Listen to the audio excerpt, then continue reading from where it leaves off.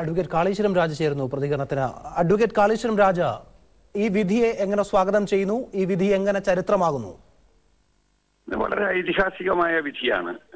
പല കാരണങ്ങൾ കൊണ്ട് ഒന്ന് ന്യൂനപക്ഷാവകാശങ്ങൾ. ന്യൂനപക്ഷാവകാശങ്ങൾ എന്ന് പറയുമ്പോൾ ലൈംഗിക ന്യൂനപക്ഷങ്ങളുടെ അവകാശങ്ങളും കൂടി അതിൽപ്പെടുന്നു ആ തരത്തിലുള്ള അവകാശങ്ങളെ മാനിക്കുന്നു എന്നുള്ളത് സുപ്രീം കോടതി തന്നെ രണ്ടായിരത്തി പതിമൂന്നിൽ മുന്നൂറ്റി എഴുപത്തി ഏഴാം വകുപ്പിനെ ശരിവെച്ചുകൊണ്ട് മറിച്ചുള്ള ജഡ്ജും ഡൽഹി ഹൈക്കോടതി വിധിയെ അസ്ഥിരപ്പെടുത്തിക്കൊണ്ട് കൗശാലിന്റെ കേസിൽ ഒരു വിധി പറയുകയുണ്ടായി.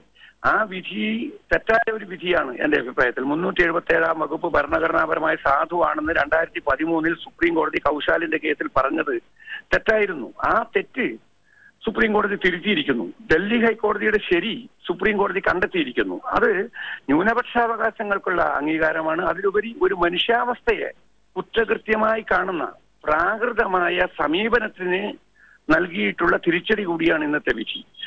പല പുതിയ ജനാധിപത്യ രാജ്യങ്ങളും അമേരിക്ക ഏതാണ്ട് ഈ സമാനമായിട്ടുള്ള ഒരു കേസിൽ വിധി പറഞ്ഞത് രണ്ടായിരത്തി മൂന്നിലാണ്. ഏതാണ്ട് പതിനഞ്ച് വർഷങ്ങൾക്ക് മുമ്പ് ലോറൻസ് വേഴ്സസ് ടെക്സാസ് എന്ന കേസിൽ.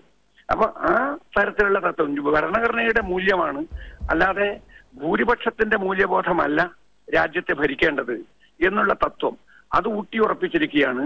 ഈ തരത്തിലുള്ള അവസ്ഥയിൽ പെട്ടുപോകുന്ന ആളുകൾക്ക് ആ അവസ്ഥ തന്നെ ഒരു മനുഷ്യാവകാശ അവസ്ഥ തന്നെ കുറ്റകൃത്യമായി പീഡനമേൽപ്പിക്കേണ്ടി വരുന്ന ദുരവസ്ഥയ്ക്ക് അന്ത്യം കുറിക്കുന്ന ഒരു വിധി കൂടിയാണ് ഇന്ന് സുപ്രീം കോടതിയിൽ നിന്ന് ഉണ്ടായിട്ടുള്ളത്. വളരെയധികം സുപ്രധാനമായ സ്വാഗതാർഹമായിട്ടുള്ള വിധിയാണ്. നന്ദി അഡ്വക്കേറ്റ് കാളീശ്വരം രാജ പ്രതികരണത്തിന്